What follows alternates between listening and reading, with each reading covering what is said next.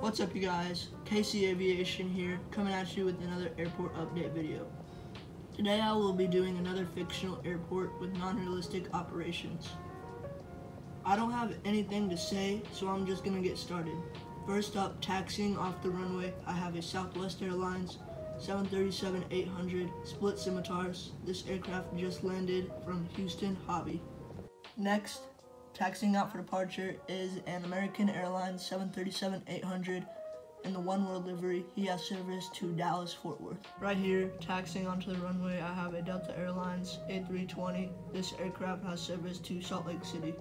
Next is a Delta Airlines MD-90 taxiing to its gate. This aircraft arrived in from Minneapolis, St. Paul. Right here at gate 1 I have United Airlines A319. He is getting fuel and bags and he will push back shortly for Denver. Next at gate 3 is a Spirit Airlines A320neo Sharklets currently deboarding passengers. This aircraft arrived in from Los Angeles.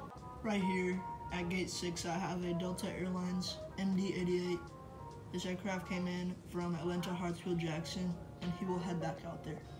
Next at gate 9, I have a Southwest Airlines 737-700. This aircraft is getting fuel, catering, and bags. He will push back shortly for Chicago Midway. Last, I have a UPS Air Cargo 757-200. Right now it is getting a ton of cargo, and tonight this aircraft will head out to Chicago Rockford.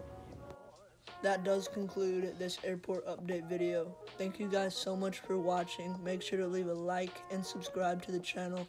And make sure to hit that notification bell so you never miss any more videos. I will see you guys in the next video.